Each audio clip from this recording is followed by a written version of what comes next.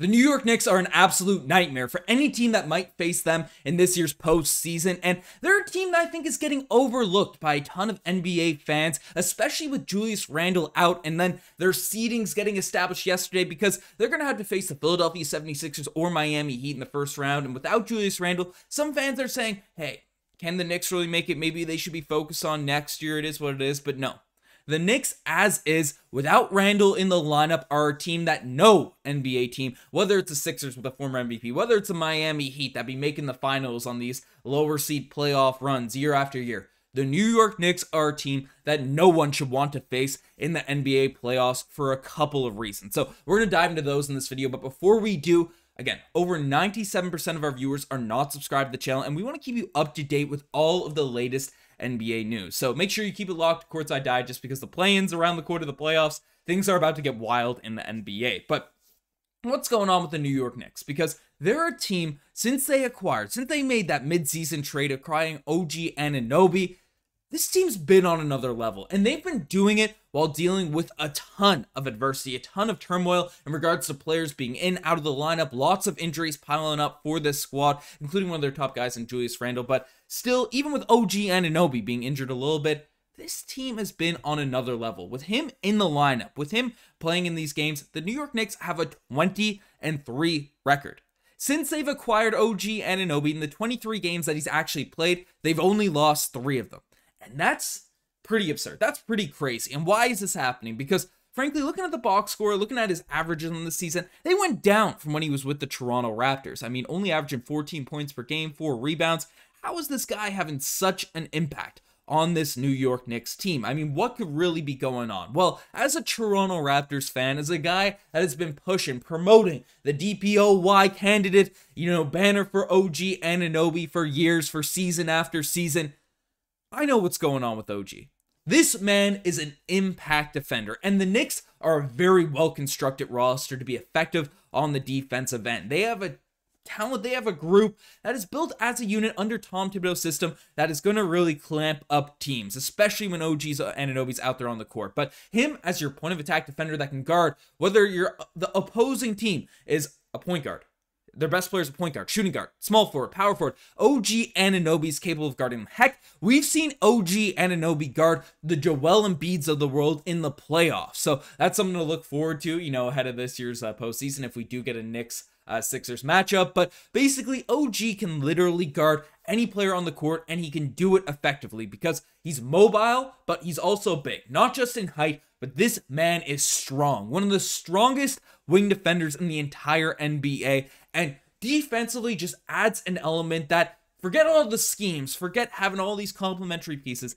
You have a superstar defender, an OG Anunoby, and he still brings it to you on the offensive end. He's still able to knock down close to 40% of his threes. You know, he's a proper 3 and D guy, but does defense so elite he should be regarded as a star level defender. He's one of those players that deserves that recognition. I think him being reintegrated into the lineup now to close out this season, that's going to be huge for the New York Knicks as they enter this sort of, you know, probably a tough first round matchup, whether it's with the Philadelphia 76ers or Miami Heat. But another storyline regarding the New York Knicks that shouldn't be uh, overlooked because, again, their defense with OG has been crazy. I also want to bring up a stat. Basically, they have a 107 defensive rating when OG Anunoby's playing for this New York Knicks team. And to put that in context, the best defensive rating in terms of a team this season is the Minnesota Timberwolves, so that, that are currently at 109. So they have the best you know, advanced stats in terms of defense when OG Anunoby's playing for that squad. So, regardless if you have an MVP, if you have a playoff Jimmy, you are not going to get any easy buckets against the Knicks. But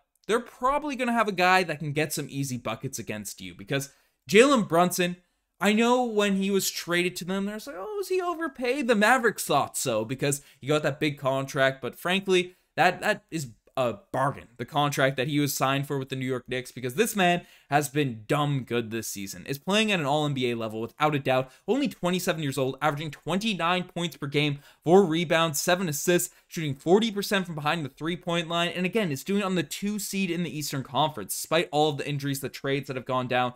I mean, the stat increases, the jumps, the level that Jalen Brunson has been able to develop into has just been on a unheard of sort of trajectory. Maybe not unheard of, but he is taking his steps forward. And look, Jalen Brunson is a guy that watching him play, he's able to create his own shot, whether it's behind the three point line. He's not just a guy that relies on three point shooting to get his buckets. He uses his size, he uses his strength to get into the paint and finish at the rim as well. But the three point shooting is something you have to look at in terms of a guy that's being able to create your own shot because playoff time, we see it so many years, right? Oh, a guard, the John Walls of the world, not Damian Lillard, but you know, those guards that enter the playoffs, and sure, they have good runs, but can they compete with teams that have, you know, a big man, an elite small forward as their sort of 1A? Can they compete? Because can the guard get some easy buckets, get some easy shots when the defense tightens, when things close in? But Jalen Brunson is a different level of guard. He's a different sort of uh, PG putting up these big type of stats because if you look at the shooting,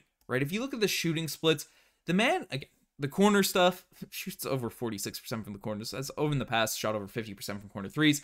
But he creates, he's shooting 40% behind the three point line on pretty well all shots that are created by himself. I mean, only 58% of his three point attempts are assisted upon.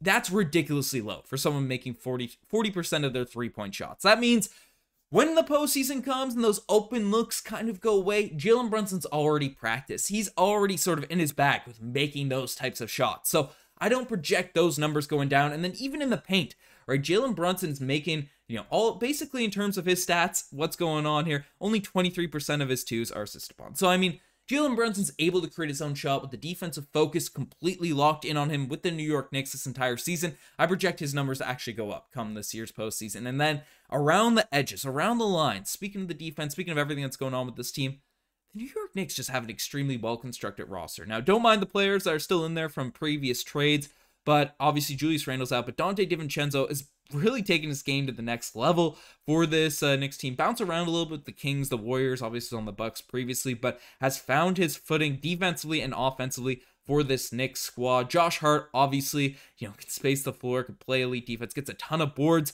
They have Alec Burks and Bo- uh, Bogdanovic, who they traded for at the trade deadline, haven't had that necessarily, you know, crazy, crazy impact for the jump, but as the season's gone along, they found their sort of footing and uh, you know some sneaky pickups. I don't think the casual viewers, the Knicks, really have been seeing. But Deuce McBride, Miles McBride, has just really come into his own.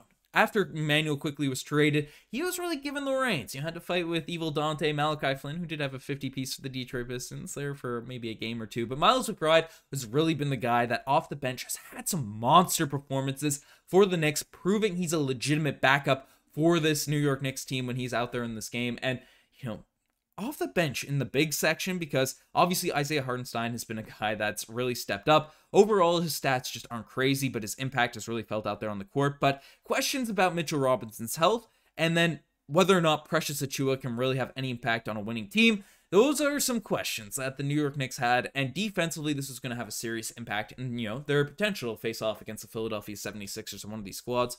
Frankly, Mitchell Robinson's back in the lineup, coming off the bench, not doing anything crazy. He had a big game against the Brooklyn Nets recently, but we know what Mitchell Robinson's going to do. Block some shots, play defense, probably not a lot of minutes just because he's recovering from injury. But Precious Achiuwa has been a steal for the New York Knicks. Now, I personally, as a Raptors fan, think the the Toronto Raptors got a haul in RJ Barrett, Immanuel Quickley. Only two guys really have been playing well for the Raptors to close out their season. I still think it's a W trade for the Raptors.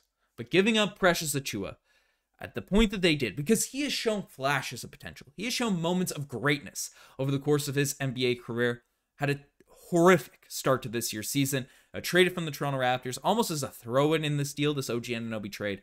But frankly, the New York Knicks got a good one. He is extremely switchable as a big man. Only about six nine at the center position, but similar vein to OG Anunoby, is strong, is mobile, can block shots, He can even space the floor a little bit. Dare I say it? Not consistently, but he can shoot the three as well. But he's super athletic. Yes, you're going to get some boneheaded plays from Precious Achiuwa at times, but he is a guy that can get thrown in there, be an elite defender, can get you some buckets, and just be a sort of, you know, game changing presence. You know, obviously you think of guys coming off the bench that are microwaves, you know, have impact in terms of scoring, whatever, as those guards. Jamal Crawford's of the world, the Lou Williams, and those types of guys. Precious Achiuwa does it in a little bit different way. Now, when he's struggling, when it's bad, it's bad. But when it's good, he's a serious impact offensive player off the bench as well. So the Knicks, they have a well-rounded team defensively, offensively. They have their 1A star. They have their 1A star on the defensive end as well. And frankly, I don't think there's a single team that should be uh, looking to face off against the New York Knicks in the first round. But